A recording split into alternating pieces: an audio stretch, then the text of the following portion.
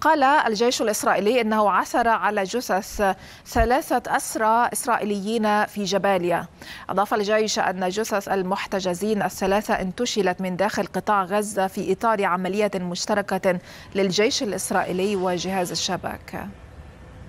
من جانب آخر أعلنت كتائب القسام الجناح العسكري لحماس أنها احتجزت قائد اللواء الجنوبي في فرقة غزة بالجيش الإسرائيلي إساف حمامي خلال هجومها في السابع من أكتوبر ولوحت بأن الوقت ينفذ أمام إسرائيل لإنقاذه. كان الجيش الإسرائيلي قد أعلن مقتل حمامي في هجوم السابع من أكتوبر وحتى أقام جنازة له في السابع من ديسمبر 2023 بحضور وزير الدفاع جالنت.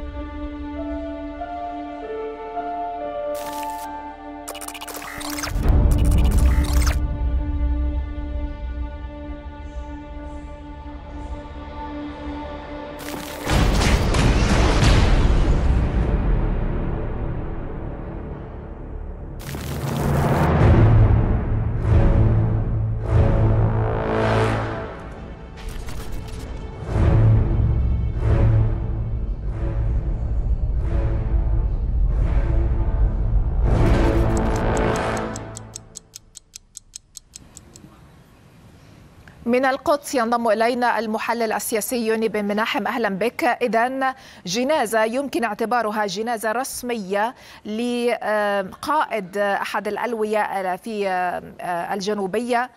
حضرها حتى وزير الدفاع الإسرائيلي نفسه. ثم اتضح أنه على قيد الحياة. تفسيرك. هو ليس على قيد الحياة.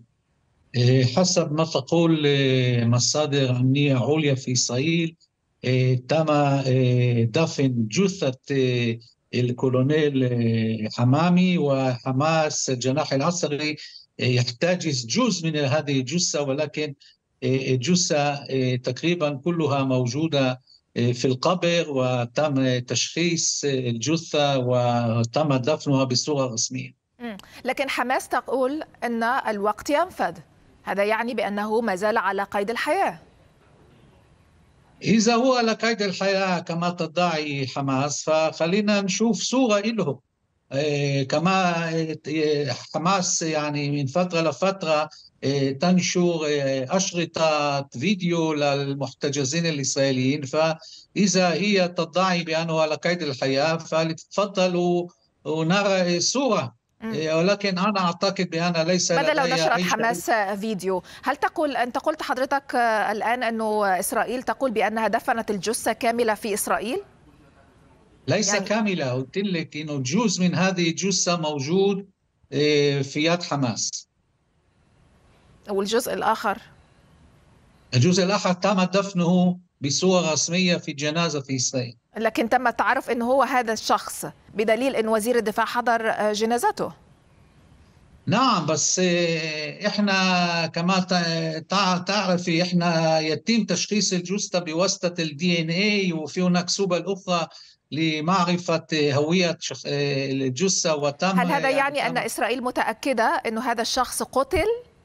أم لا؟ نعم هي متأكدة إنه هو قتل وهي لديها طيب. معلومات إذا اتضح إذا اتضح أنت تقول أنه إذا حماس تقول أنه هذا الشخص على قيد الحياة فلماذا لا تعرض فيديو له كما عرضت فيديوهات لأسرى آخرين إذا حصل ذلك هل سيعمل ذلك على التشكيك بكل في كل مرة تقول فيها إسرائيل أنها حصلت على ثلاثة جثث هنا وثلاثة جثث هناك كما حدث اليوم مثلاً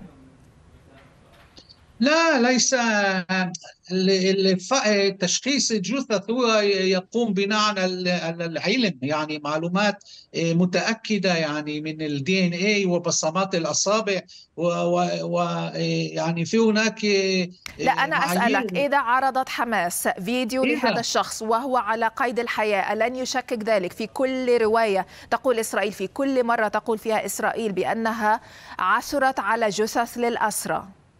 نعم ستكون هناك علامات استفهام بالتأكيد ولكن إسرائيل تقول أن هذا الخبر هو جزء من الحرب النفسية لحماس من أجل الضغط على إسرائيل وليس ولكن لماذا لماذا ستقول حماس أن هذا الشخص بالتحديد على قيد الحياة وهو ليس على قيد الحياة وهي بالفعل تملك لديها أسرى مدنيين وجنود وعسكريين يعني هو. كان كولونيل في الجيش الإسرائيلي ولديها جزء مهم من هذه الجثة وهي تريد استغلال ذلك بهدف الحرب النفسية.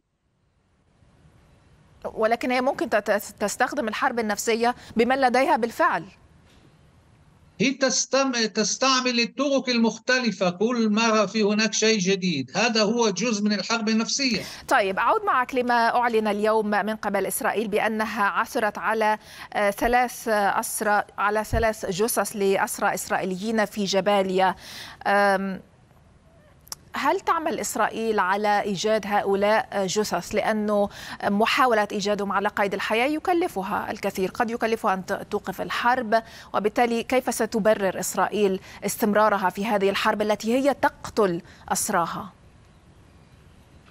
إسرائيل لا لا لا تقتل أسراها حسب التشريح كل الجثث الجثث التي عثرت عليها إسرائيل قتلتهم إسرائيل في الغارات. لا لا لا غير صحيح.